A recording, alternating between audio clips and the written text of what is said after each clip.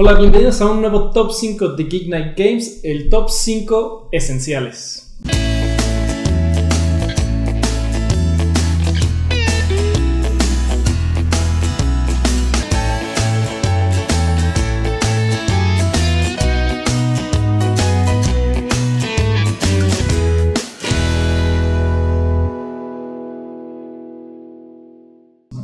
Así es, vamos a tratar un tema un poquito subjetivo, pero vamos a hablar de los 5 juegos que GNG recomienda deberían estar en todas las colecciones o al menos en casi todas. Sí, así es. Si tú tienes un grupo de juego, estos son los juegos que vamos a recomendar nosotros para que estén en tu colección. ¿Tomaste alguna consideración para esto? Eh, traté de alejarme un poquito de lo que vienen siendo los juegos para iniciar. Es decir, no puse tantos gateway. Eh, y traté de que fueran juegos que sé que los dos disfrutamos de alguna forma, como para tratar de que sí sea una recomendación de Night Games, ¿no? ok.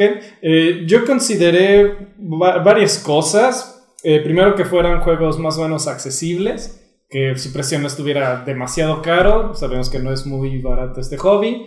que no, o sea, que sea fácil de conseguir, digamos, que puedas conseguir al menos en internet. ¿No?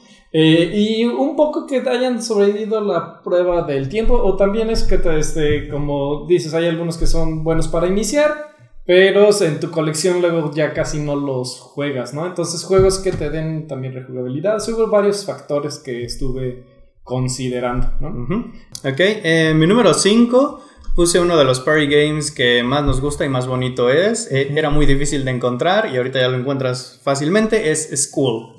En el número 4 eh, es un juego cooperativo, el cual disfrutamos mucho y nos ha maltratado también bastante, es Pandemic. En el número 3 creo que es un juego que hemos recomendado bastante y se me haría raro no ponerlo. Y es Anmore. Por, la razón por la que sí lo estoy poniendo es porque la nueva versión anti-narking próximamente va a estar disponible. El número 2 puse a nuestro juego del año del 2018, Root. Ok. Y el número uno, eh, un juego que sé que los dos disfrutamos bastante, es Viticulture. Ok. Yo en mi número 5 puse Sheriff of Nottingham. Ok. En el número 4 puse Concordia. En el número 3 puse Akenoko. Número 2, Hanabi. Ok. Y número 1, Dead Winter. ok. Entonces vamos a explicar por qué pusimos esos juegos. Creo que es cool, un filler y al mismo tiempo te permite tener muchos jugadores. Eh, es muy bonito, muy divertido y todas las veces que lo hemos jugado siempre nos ha resultado exitoso. Y qué mejor que un push your luck donde también tienes que ver si la persona te está mintiendo o, o de verdad si se está arriesgando. Y pues eso ayuda a romper el hielo también de repente, ¿no? Sí, fíjate, eh, justamente por eso yo puse a mi número 5, Sheriff of Nottingham, por la parte del bluff. O sea, pensaba un juego muy social donde tienes que andar así como bloqueando. Y School es mucho de esto, ¿no? De leer a los otros jugadores. Y Sheriff of Nottingham uh, también lo puse por esa razón, ¿no? Eh, School permite seis jugadores, Sheriff solo permite cinco. Pero me parece que es un juego muy social que, que no cansa, ¿no? Si tienes un muy buen grupo de juego, este juego no te va a cansar. Bueno, en mi número 4 puse Pandemic, que viene siendo como el juego cooperativo que pues, siempre sirve en una colección. Eh, creo que Pandemic es uno de los juegos que más ha soportado la prueba del tiempo. Eh, y además, si te gusta o por ahí lo llegaras a sentir muy simple, hay todavía un rango de opciones que en las que puedes trabajar, ¿no? Te puedes ir por Pandemic eh, Iberia, por Pandemic eh, La Caída de Roma, un Pandemic Legacy para mejorar un poquito la experiencia y un montón de cosas que puedes hacer si te gusta el juego base, ¿no? Además de que siempre puedes regresar y además te sirve como un buen juego introductorio. yo en mi número 4 puse Concordia. ¿Por qué Concordia? Había varios juegos en el que estaba la administración de recursos, que estaba entre Power Grid, que hemos mencionado muchísimas veces, y creo que es el que más top 5 ha ganado. Eh, estaba pensando también los castillos de Burgundy, estaba pensando incluso también Terra Mística, pero al final elegí Concordia eh, porque es un juego suficientemente sencillo y elegante en las reglas, pero que tiene mucha estrategia. Para mí Concordia es el juego que mató Catán. O sea, la verdad lo disfruto mucho más. Me parece que es mucho más fluido, mucho más estratégico. Eh, y, es esta parte de la, de administración de recursos que es lo que me gusta tanto del el número 4. Eh, mi número 3 puse, pues, eh, esta sí fue una más, una recomendación personal, un espacio ahí que tenemos, que nos gusta muchísimo. Creo que Anmore porque es un juego muy, muy bueno. Eh, y que no recibió el cariño que debería haber recibido, ¿no? Eh, ya lo hemos mencionado muchísimo y se viene una nueva edición y creo que esa edición va a hacer que explote el juego. Entonces es una lástima que ya se haya perdido la licencia, o más bien no se pudo continuar con la misma licencia, porque se pierde un poquito de la esencia del juego, el flavor y demás. Pero los mecanismos base están aquí en Antinarkin y creo que va a ser algo muy positivo. Sí, creo que Morpor, pues sí, el hecho de que fuera una licencia eh, pues hizo que nada solo le interesaran a ciertas personas, ¿no? Ahora, el problema con Nanti Narkin eh, es que no sabemos a qué precio vaya a salir, ¿no? En venta. Entonces, quién sabe qué tan accesible vaya a ser, capaz si sí es muy económico o no. Entonces, eso fue lo único por lo que yo le pondría un pero. Definitivamente es un juego muy sencillo pero muy estratégico y muy divertido. Eh, yo en el número 3 puse, digamos que también algo similar en el hecho de que es un juego familiar, Takenoko. Por eso, se estaba pensando un juego que pudiera disfrutar toda la familia, pero que a, que a su vez fuera suficientemente estratégico. Eh, hubo varios que pensé eh, más o menos que pudieran servir como esta función, pero por ejemplo yo preferiría Takenoko mucho más que un Ticket to Ride. Entonces, por eso fue que lo puse en mi número 3. En mi número 2 puse a nuestro juego del año del 2018. Creo que es uno de estos juegos en que vas a estar constantemente evolucionando, lo vas a estar redescubriendo. Si te llega a cansar un poquito, pues lo, lo dejas descansar y regresas con ideas frescas, ¿no? Estoy hablando de Root. Root ya hemos hablado de él, es un área control, pero muy asimétrico eh, y en el cual han salido las expansiones, en el cual te brindan más razas de animalitos, lo cual hace todavía que se ponga más raro el juego, va a salir un mapa diferente, entonces todo esto ayuda a que primero conozcas el juego, te enamores de él, lo vayas redescubriendo, luego metas a una expansión, veas lo que te aporta, luego metas otra y así. Entonces siento que es un juego que puede ir creciendo y creo que esta parte de que un juego que pueda estar evolucionando y además te, te vaya sorprendiendo conforme pasa el tiempo, creo que siempre es bueno en una colección. Sí, la verdad es que es un juego muy bonito y para lo que ofrece, la verdad es que es un juego muy accesible en cuanto a precio, que es lo que me gusta. O sea, la caja es una caja chiquita, eh, pero que contiene muchísimo, tiene muchísimo juego y por ese precio te llevas la verdad, un juego que te va a durar, como tú dices, mucho. Eh, pero yo en mi número 2 puse mi juego colaborativo, el que yo rescataría, que es Hanabi. La verdad, Hanabi eh, me parece que la experiencia de juego que te da es, es única eh, es una actividad eh, muy diferente a la que te ofrecen otros juegos. Y sí, andaba pensando también, o sea, como qué juego colaborativo y pues obviamente Pandemic eh, me saltó, pero, pero la verdad por, por la experiencia de juego y que es un juego tan diferente y tan único, es que yo lo rescato y lo puse en mi número 2.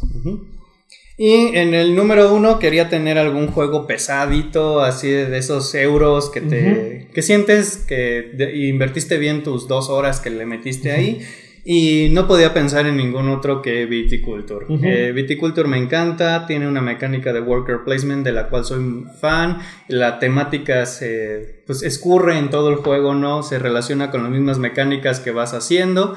Y pues por eso, aparte, ya hemos hablado bastantísimo de él, es uno de nuestros juegos favoritos y por eso Viticulture. Sí, este juego pues definitivamente eh, nos gusta mucho. También lo consideré, eh, es un poco elevado de precio, pero la verdad es que sí me parece un muy buen juego, los componentes están muy bonitos, todo. Eh, pero yo en mi número uno puse Dead of Winter.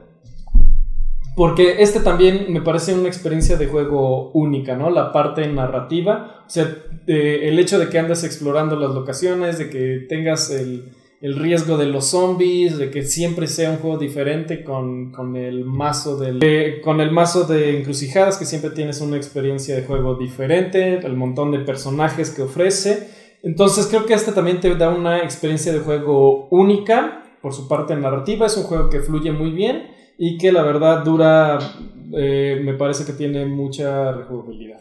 Sí, la única razón por la que no consideré ese, porque cuando estaba viendo los cooperativos lo pensé, es porque ese juego sí necesitas eh, o que todo el mundo sepa inglés perfecto mm. o que esté el juego en español y el juego en español ahorita sí está un poquito más caro de conseguir. Ahora, hay juegos que digamos cumplen como o, tienen como el mismo nicho, ¿no? Sí.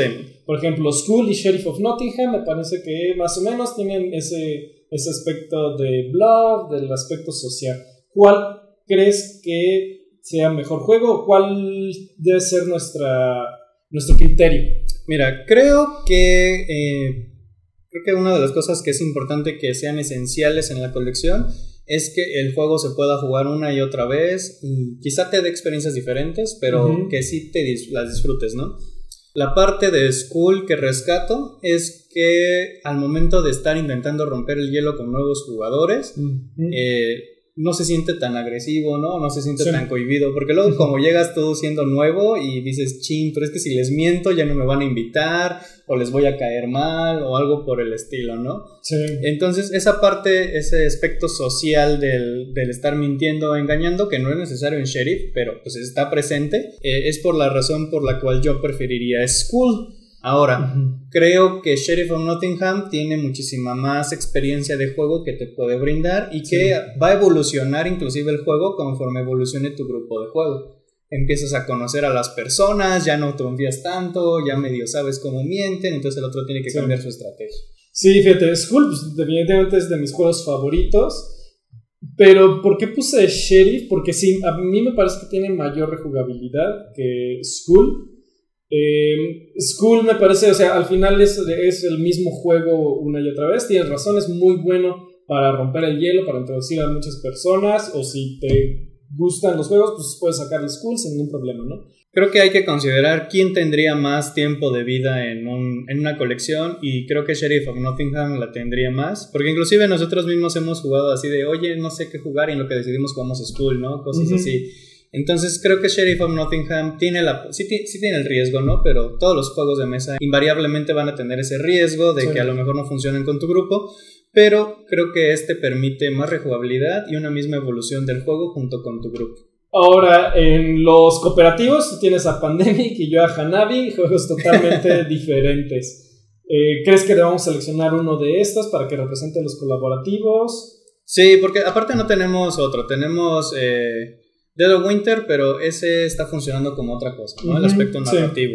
Yo me iría más por Pandemic, por el hecho de que estamos mencionando, ¿no? Eh, Hanabi puede ser un poquito repetitivo y Pandemic te permite evolucionar, ¿no? De repente puedes subirle la dificultad, puedes bajársela, te permite explorar nuevas estrategias. Y, y Pandemic es un juego que tiene expansiones que puedes conseguirle para refrescar todavía esa, esa experiencia de juego. Dead of Winter, como dices, pues está la cosa del idioma, que sí es para muchos una limitante. Eh, y sí que no, es, no puede ser tan accesible en español. Y creo que Unmorpork sí debe de quedar fuera en este momento, precisamente porque está imposible de encontrar la versión original y la nueva no tenemos la información suficiente todavía de qué tan disponible va a estar ya el mercado.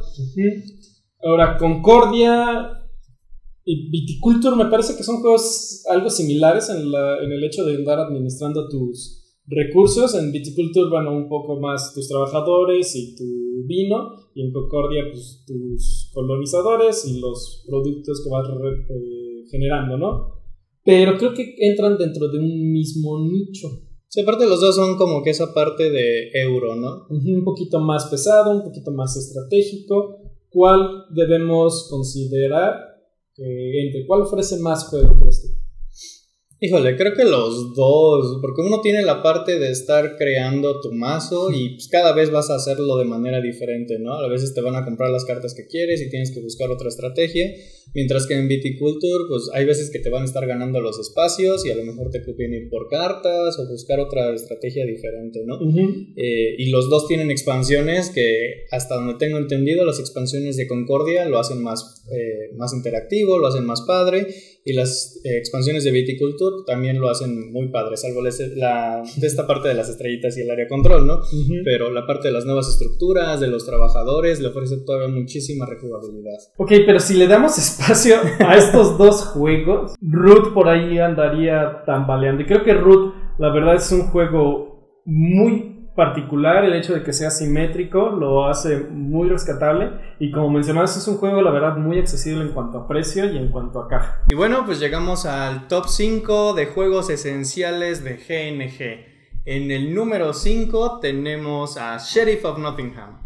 Y en el número 4, uno de nuestros juegos favoritos, pero lo pusimos en este lugar porque pues, es el más complejo de todos estos, Viticulture. En el número 3 tenemos a Concordia que si has jugado Catán, juega Concordia, lo vas a disfrutar mucho más. En el número 2, nuestro juego colaborativo, que va a ser Pandemic. Así es, porque permite una evolución completa de ese juego. Y en el número 1 tenemos al juego que pusimos en el juego del año del 2018 y una recomendación de GNG completamente, Root. Así es, la verdad, es un juego muy accesible eh, que es muy estratégico, es complicado, pero una vez que le agarras es un juego que vas a disfrutar mucho. Y que con todas las expansiones está evolucionando y siempre te va a dar una experiencia fresca y diferente. ¿Cuáles creen ustedes que son los juegos que deban entrar en toda colección? Díganos en los comentarios. Y pues desde luego no se olviden de seguirnos en redes sociales para que estén pendientes de qué estamos jugando, qué video estamos subiendo, a dónde andamos y demás. Y pues hasta la próxima. Hasta luego.